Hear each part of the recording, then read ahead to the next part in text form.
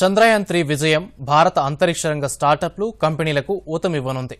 అలాగే భారత అంతరిక్ష మార్కెట్ విలువ రెండు వేల నలభై వరకల్లా ఎనిమిది లక్షల కోట్లకు చేరే అవకాశం ఉంది ఇలాంటి బిజినెస్ వార్తల సమాహారం ఇప్పుడు మరింత చూద్దాం.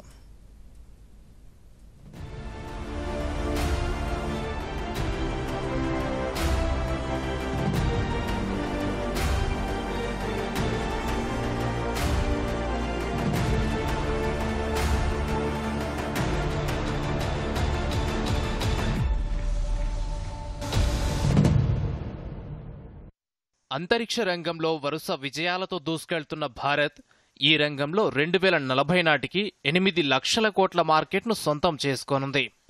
ఈ మేరకు అంతర్జాతీయ సంస్థలు అంచనా వేస్తున్నాయి. తక్కువ ఖర్చుతో శాటిలైట్లను కక్షలో ప్రవేశపెడుతుండటంతో పలు దేశాలు తమ ఉపగ్రహ ప్రయోగాల కోసం భారత్కు వరుస కడుతున్నాయి. చంద్రయాన్ త్రీ విజయంతో మన అంతరిక్ష మార్కెట్ విలువ ఇబ్బడి ముబ్బడిగా పెరిగే అవకాశముంది.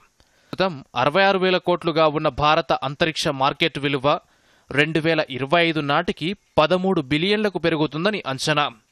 రెండు వేల నలభై నాటికి అది ఎనిమిది పాయింట్ రెండు ఐదు లక్షల కోట్లకు చేరుకునే అవకాశం ఉందని అంతర్జాతీయ మేనేజ్మెంట్ కన్సల్టింగ్ సంస్థ ఆర్థర్ డి లిటిల్ అంచనా వేసింది. ప్రపంచ అంతరిక్ష మార్కెట్ విలువ ఏటా రెండు శాతం వృద్ధిని నమోదు చేస్తుండగా భారత అంతరిక్ష మార్కెట్ విలువ నాలుగు శాతం మేర పెరుగుతుందని వెల్లడించింది.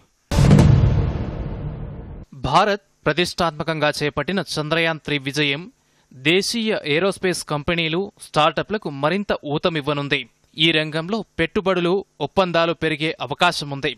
ఏరోస్పేస్ రంగంలో భారత్ సత్తా ప్రపంచానికి తెలియడమే కాకుండా దేశీయ ఏరోస్పేస్ రంగానికి మరిన్ని అవకాశాలను అందించనుంది. అంతరిక్ష రంగంలో భారత కీర్తి మరింతగా పెరుగుతుందని MTAR technologies managing director Parvat Srinivasa Reddy తెలిపారు. కాంప్లెక్స్ మిషన్లను విజయవంతం చేయగల సామర్థ్యాలు భారత్కున్నాయని ప్రపంచానికి స్పష్టమైందని. దీనివల్ల అంతర్జాతీయంగా ఏరోస్పేస్ రంగంలో సహకార ఒప్పందాలు కుదుర్చుకోవడానికి పెట్టుబడులు ఆకర్షించడానికి వీలవుతుందన్నారు. భారత్ ఎన్క్యాప్ వచ్చేసింది.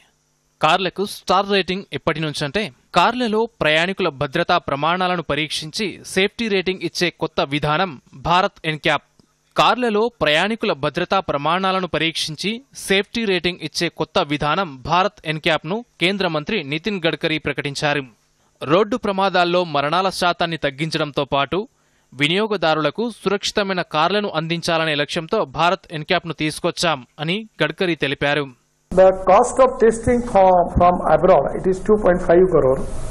And in India, Bharat NCAP, it comes to 60 lakhs. So there can be a good market for institute. they should be also professional, ARI and our, all these organizations, there should be a professional approach.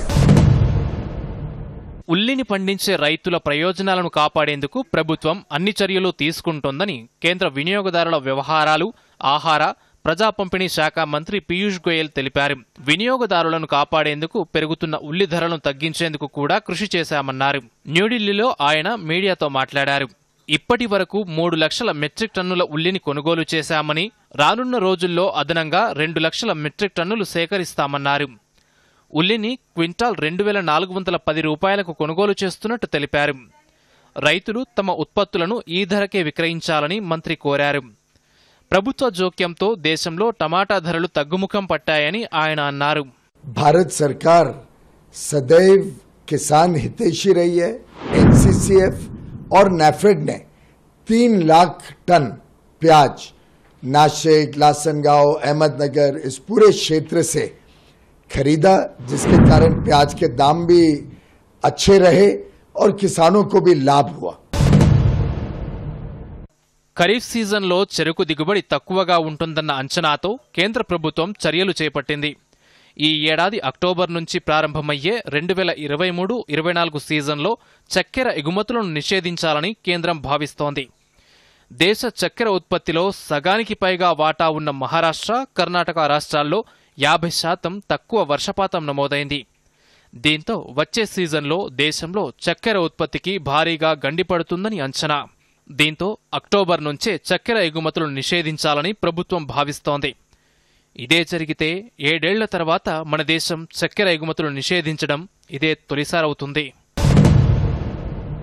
దేశీయ stock మార్కెట్ల లాభాల జోరుకు break పడింది. వరుసగా నాలుగు రోజులు లాభాల బాట పట్టిన దేశీయ స్టాక్ మార్కెట్ సూచీలు ఈరోజు నష్టాలు చవిచూశాయి. చంద్రయాన్ త్రీ విజయంతో ముడిపడిన కొన్ని కంపెనీల షేర్లు లాభాలు పండించాయి. దేశంలో బంగారం ధరలు స్థిరంగా కొనసాగుతుండగా వెండి ధరలు స్వల్పంగా తగ్గాయి.